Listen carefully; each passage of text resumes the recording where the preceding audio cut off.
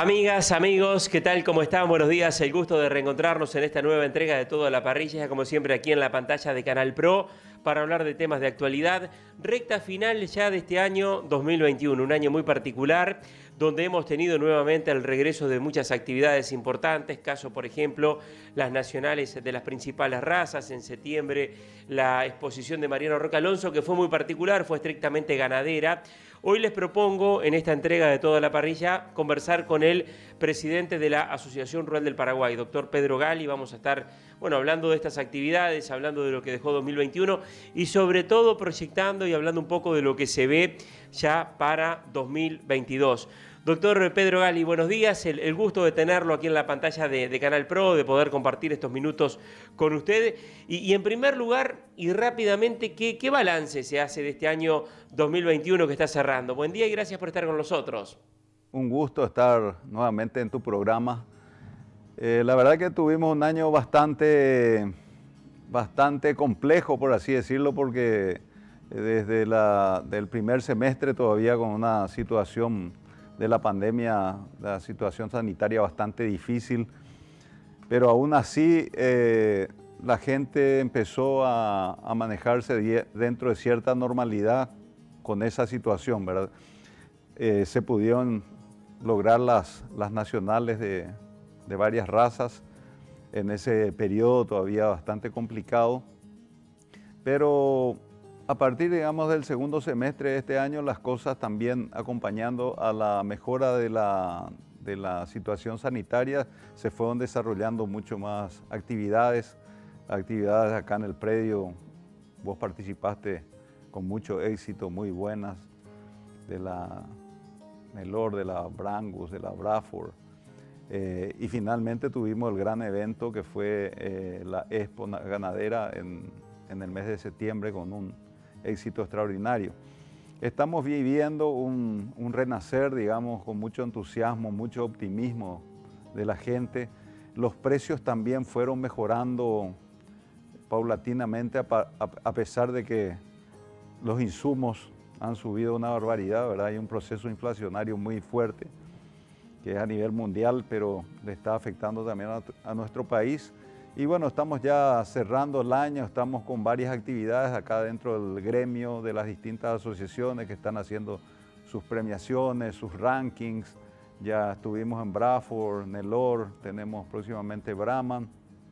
Así que muchísima actividad y esperamos que el año que viene entremos sólidos eh, con precios bastante fuertes. El mercado aparentemente está muy sólido en sus demandas a pesar de que el faenamiento bajó bastante en el mes pasado de octubre, pero seguramente por vinieron lluvias, lluvias tempranas, buenas lluvias, mucha gente pudo optar por retener sus animales, así que bajaron los niveles de faenamiento.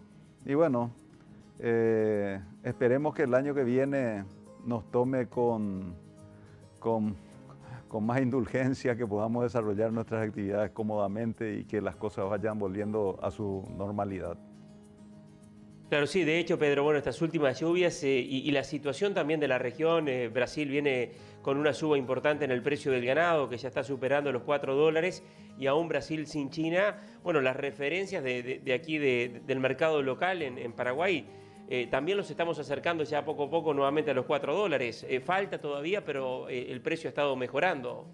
La situación que se produjo con Brasil de quedar fuera de China no, nos dio un, un, golpe hacia abajo con los precios, pero eventualmente el mercado interno de Brasil, que también es muy poderoso, muy grande, creo que hizo mejorar los precios Hoy ya está, como dijiste, por encima de 4 dólares. Estamos otra vez nosotros en el Paraguay con el precio más bajo de la, de región y sintiendo esa, desventaja que tenemos realmente con nuestros competidores de la región de estar fuera de China.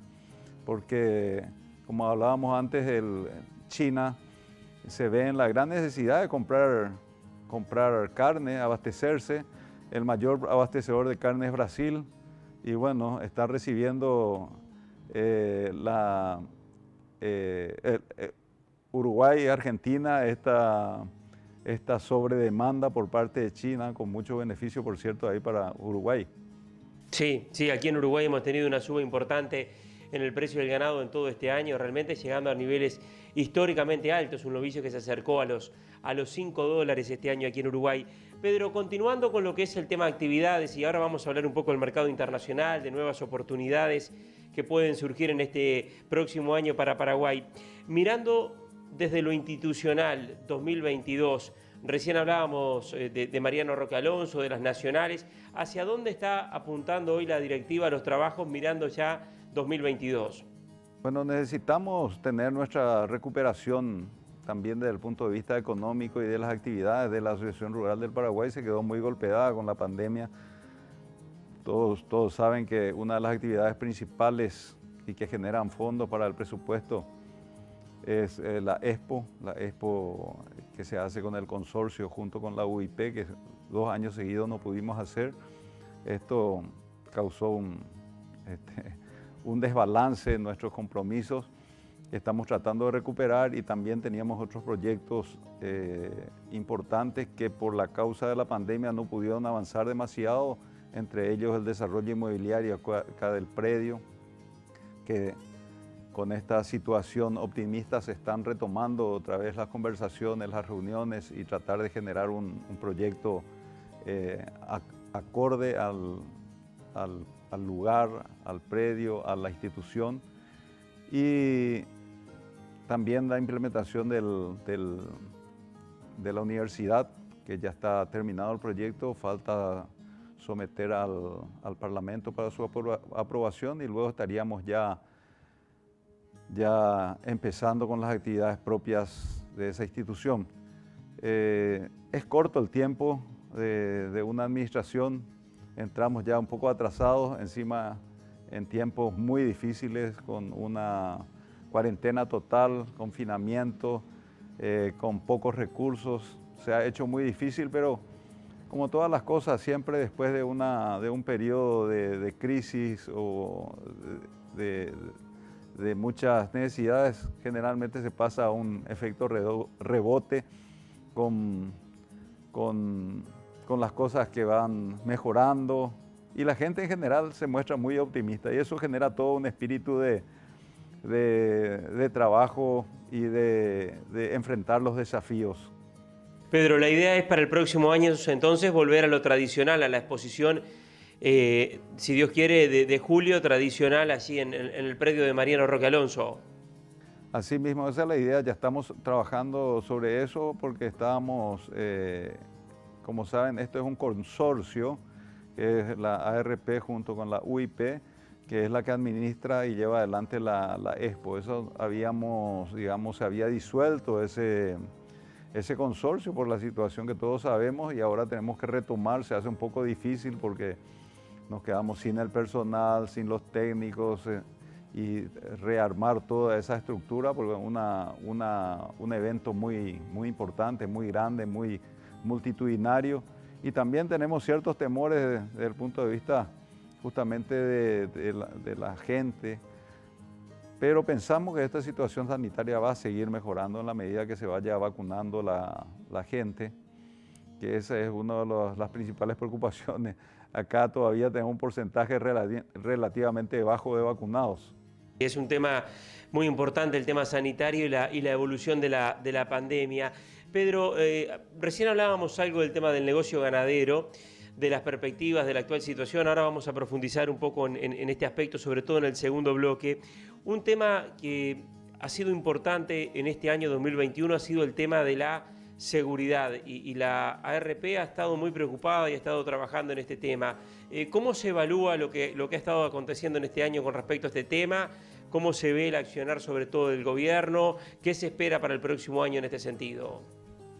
Bueno, en tema de seguridad tenemos que distinguir tres aspectos principalmente. Uno, por un lado, la seguridad jurídica, que es también una gran preocupación por el tema de las invasiones, sobre todo el tema de los desalojos, la complicación para llevar adelante los desalojos eh, y todo lo que implica eso. Tuvimos varios casos importantes en este año que felizmente la mayoría se resolvieron positivamente. lo que da cierta, cierto optimismo. Y por el otro lado, la seguridad física, que tenemos que distinguir ahí el crimen organizado corporativo que opera en la frontera, crimen, organizaciones criminales con fines crematísticos, de obtener dinero, y por otro lado las organizaciones criminales terroristas ideologizadas que últimamente, este año sobre todo, estuvieron asolando la, zona de, Concepción, creando muchos problemas, atacando a ganaderos, establecimientos, maquinarias. Felizmente, eh, es un poco difícil decir felizmente, pero eh, este grupo aparentemente fue exterminado, este que estaba más activo últimamente, así que podemos decir que podemos esperar un poco de tranquilidad en esa zona, sobre todo que eran zonas donde se, está, se están instalando importantes inversiones que pueden traer muchísimos beneficios a la población en general y sacarle a muchas de las poblaciones que están en esa zona de la, de la franja de pobreza poder tener acceso a fuentes de trabajo, mejor trabajo, educación. El gobierno, hay que decirlo, ha hecho un esfuerzo grande también en llevar infraestructura en esa zona a través de, la, de caminos, pavimentación de caminos, este, acceso a la luz, etcétera, que eh, a comunidades que estaban bastante aisladas ahora están bien integradas y eso también es un factor que ayuda a contener esta amenaza del grupo terrorista. Claro que todavía tenemos otras, otras facciones terroristas que están operando también en el norte, sobre todo en la zona de Mambay. Eh, doctor Pedro Gali, lo invito a hacer una pausa y, vamos a hablar un poco más del tema eh, del negocio. hay, hay, un tema que me parece interesante conversarlo, que es la posibilidad de sumar quizás en el próximo año a Estados Unidos, si todo corre bien, como un nuevo mercado para para la carne de Paraguay. Así que lo invito a hacer una pausa y enseguida continuamos conversando.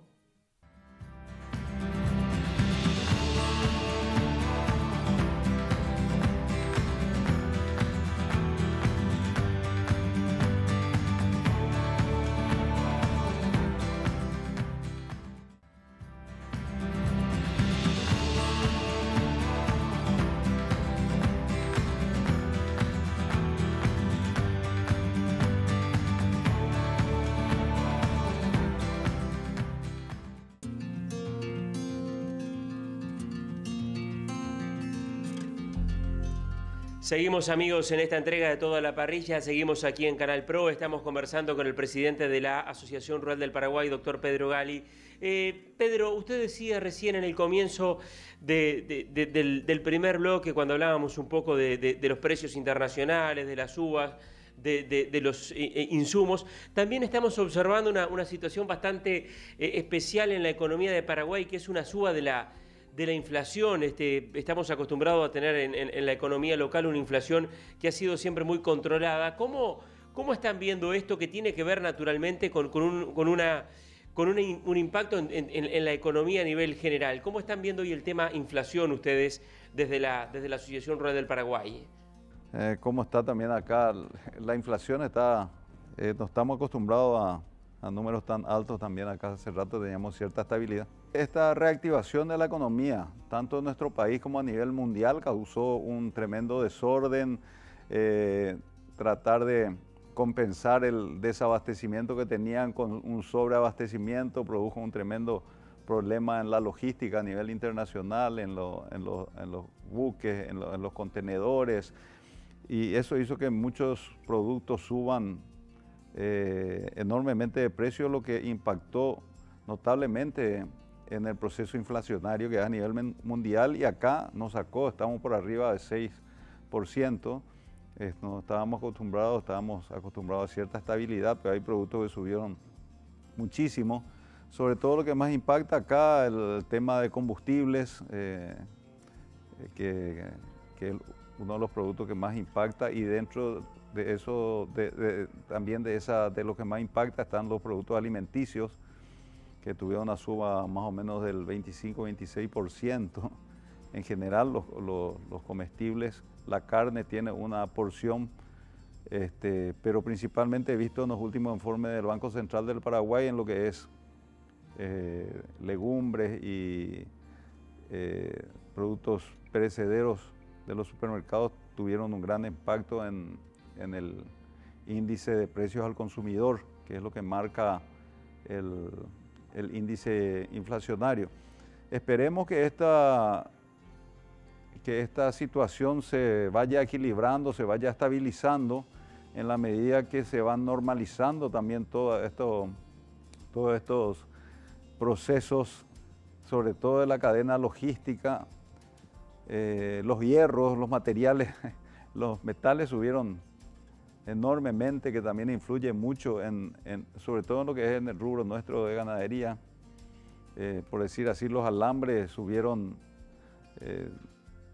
200%.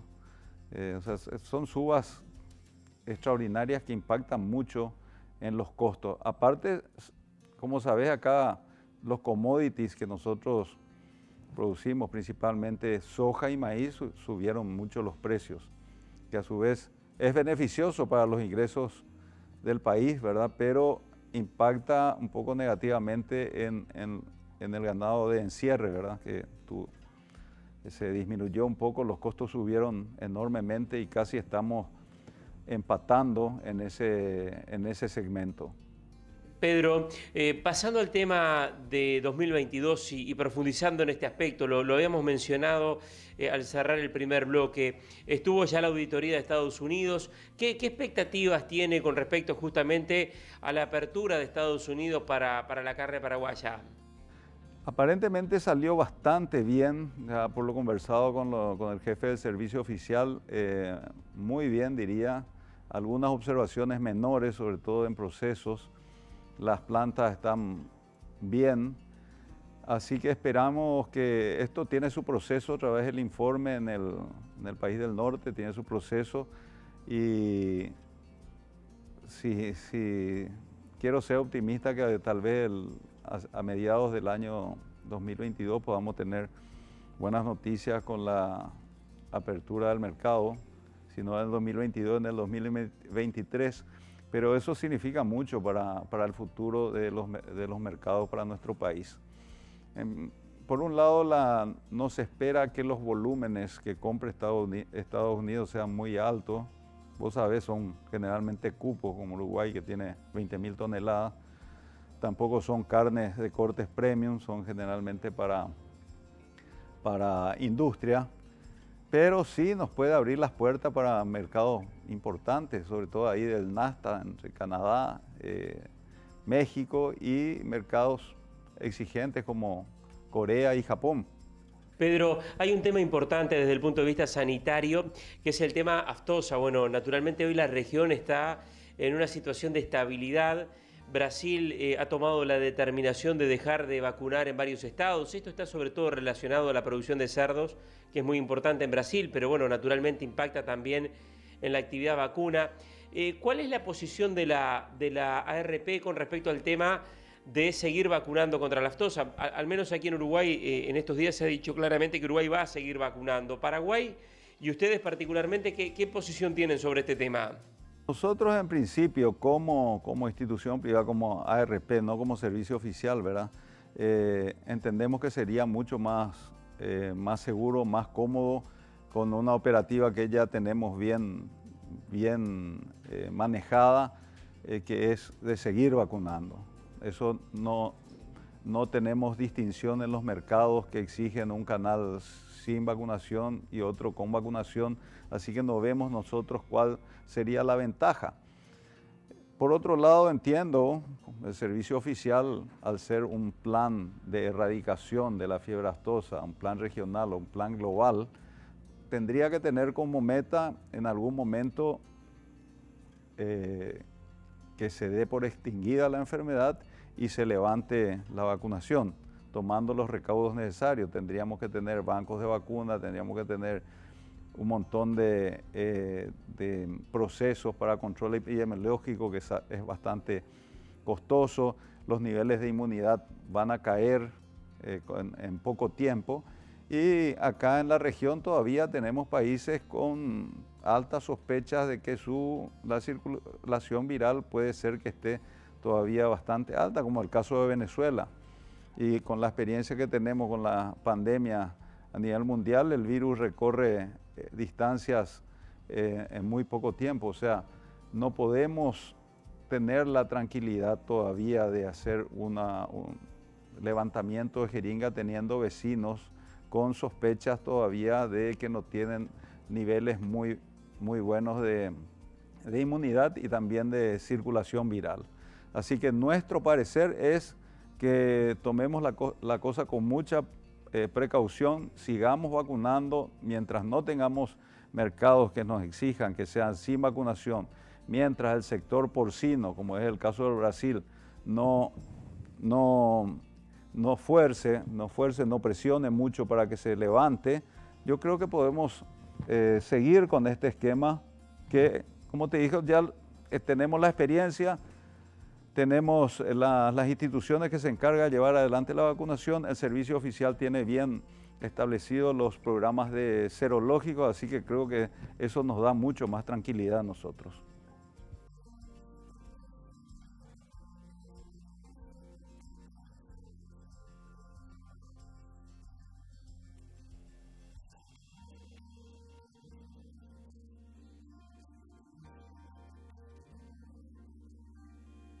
Sí, mira, te cuento que estamos muy avanzados. Esto es, eh, costó un poco darle forma jurídica. El ropaje jurídico es lo, más, eh, lo más delicado ahí para que pueda ser una entidad que pueda recaudar de manera compulsiva y que los fondos no sean manejados eh, por el Estado, que sea manejado por el sector privado, que es lo que queremos.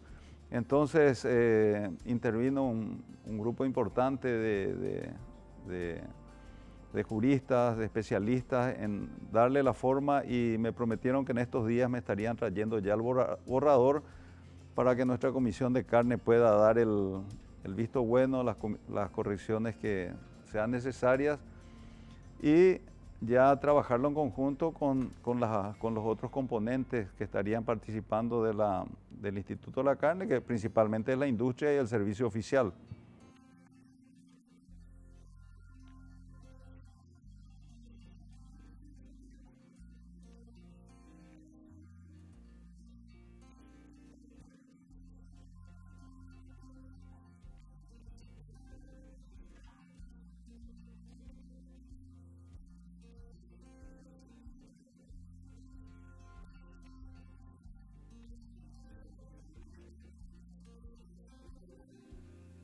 Se piensa que va a ser un buen año el, 2022 eh, si se mantiene esta... Nosotros somos principalmente un país exportador de alimentos. Casi el 67% de todas las exportaciones del país vienen del sector agropecuario. Por eso que fue esta resiliencia que tuvo nuestra economía de salir rápido de, esta situación de crisis. Los, mientras los productos eh, de, origen, de alimenticios en el mundo estén con estos precios, digamos, sólidos, la, demanda se mantenga alta, eh, los productos que nosotros disponemos para la exportación van a seguir en buenos precios, lo que van a representar una, una estabilidad económica para nuestro país y que el sector siga manteniéndose fuerte, que pueda cumplir con sus compromisos. Y en ese sentido esperamos que siga, que, que, siga así. En ese sentido tenemos mucho optimismo en el 2022. Estamos en otros programas también con, con el servicio oficial que me olvidé mencionarte, que, que tiene que ver también con el, IPC y eso que es el programa de proyecto de identificación y de trazabilidad de todo el ganado bovino, que también estamos avanzando bastante. Eh, tuvimos nuestras eh, dificultades o tratar de, de, bajar a tierra acá, eh, programas que ya se hicieron en otros países, pero estamos con un alto grado de entendimiento ya con, la, con el servicio oficial para poder llevar adelante y empezar a implementar esto tan pronto como en el 2022.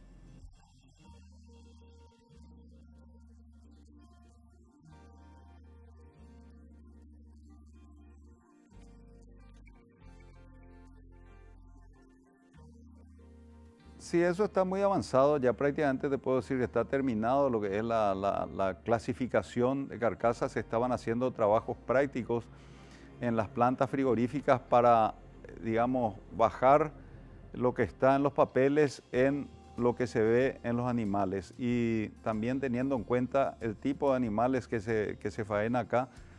Ya se hicieron varias experiencias y entiendo que se va a hacer otra rueda de, de, trabajos prácticos en, las plantas para dejar ya definitivamente esta clasificación así como se tiene o hacer los ajustes que sean necesarios. Pero el, el gran trabajo ya está terminado. Faltan solamente esos pequeños ajustes y que, la autoridad de aplicación eh, pueda ya eh, sacar esta, oficialmente esta, esta cartilla de tipificación.